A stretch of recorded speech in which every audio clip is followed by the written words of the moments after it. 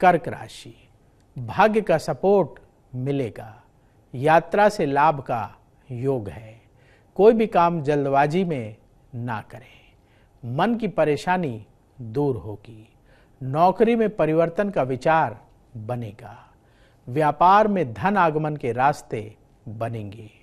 ज़रूरी टिप, अहंकार से बचें। शुभ रंग, आसमानी। उपाय गायत्री मंत्र का एक माला जाप करें।